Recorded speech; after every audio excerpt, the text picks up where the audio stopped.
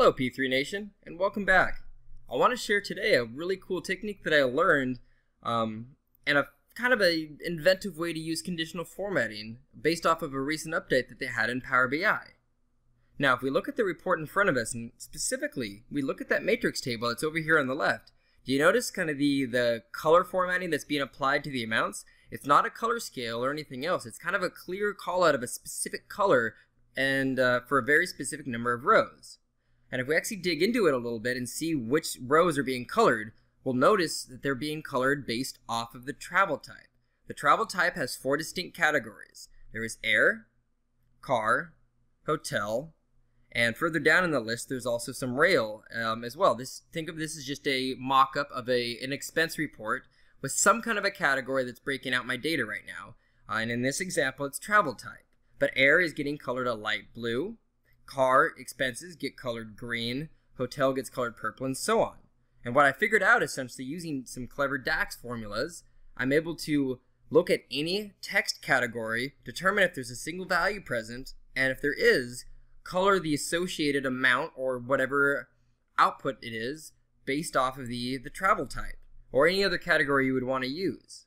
So what I'd like to do today is to walk you through exactly how to get this done and that way we can uh, apply this ourselves and really just create one DAX calculation to do this. All right, let's get started. All right.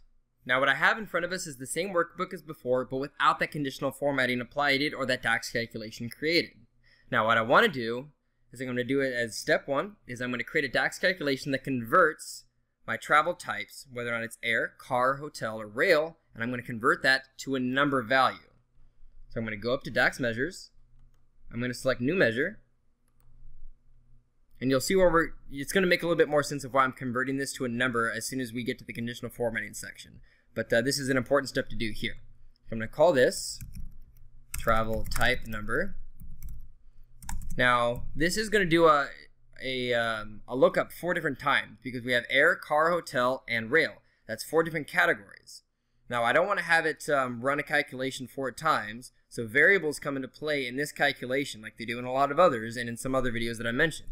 So I'm going to clear a variable, and specifically I'm going to call this travel type, and that's going to use a function called selected values. Now what selected values does is it looks and determines is there a single value being shown at any point, and if there is a single value being shown, return that value. Otherwise, return an alternative result.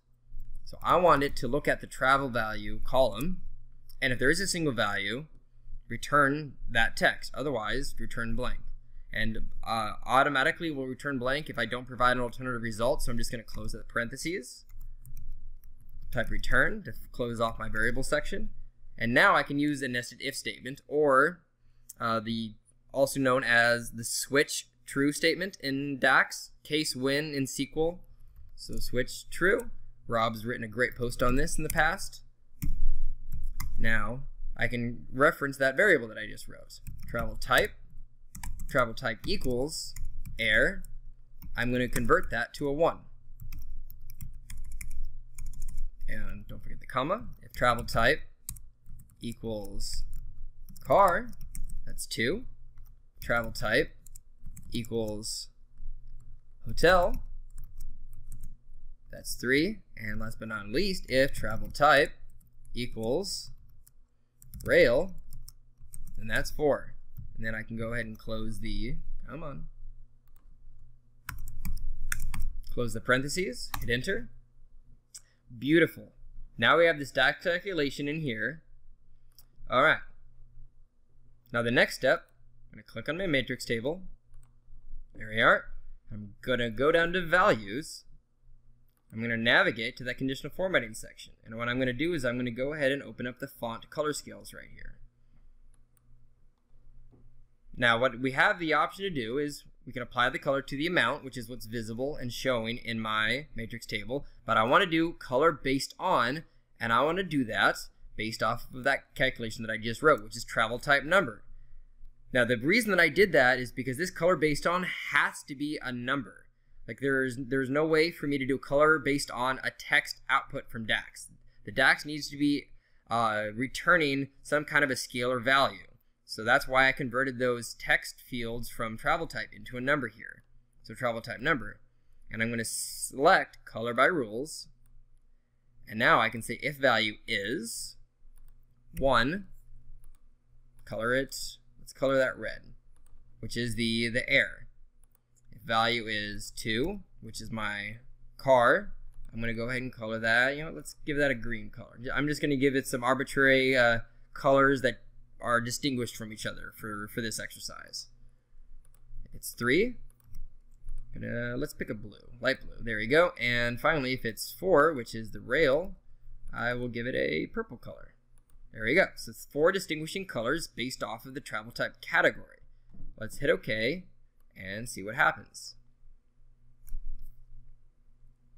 There we go. Now as you can see, it's color coded the values in my table based off of these four outputs. And this works at any level. That's the beautiful thing with this conditional formatting is it's working all the way down to the specific dates under each city from the airline or the supplier, travel type, and name. So like this expense report all the way at its lowest granularity works. As I drill up, it's still working. It's still working at the destination city level. Still working at the supplier level. It still works at the travel type level. Now here's kind of where the the, the some of the um, unique attributes of it come into play, and I think which uh, part of what makes it really dynamic. If I drill up one more time, there we are. Notice that some for some of them, if there are more than uh, one travel type in any of them, so Clark, Clark Kent, he had multiple types of expenses. He had car, hotel, and rail. So as soon as I go up, it's no longer given a color anymore because it, it has multiple ty- uh, travel types in it. As long as it has two or more, it will not get colored. It will only have the color formatting applied if there is only one travel type associated with that amount. So it will never incorrectly color. So we can know Tony Stark, he only ever had air. There was no other travel expenses for him. So it's still applying formatting correctly. Same with Jane Doe. But the rest of them had that removed because they had other travel expenses that are now been rolled up together so the conditional formatting no longer applies put that back down to the thing. And uh, you know, it's it's one way that I think can really help call out the information, help people find the information that they need to see faster, and to show the alignment of the breakouts for whatever ca textual category you might want. So hopefully that was informative for you. I found it a very useful feature to have based on a specific client requirement that I needed on a project. Um, and with that, I will see you in our next video.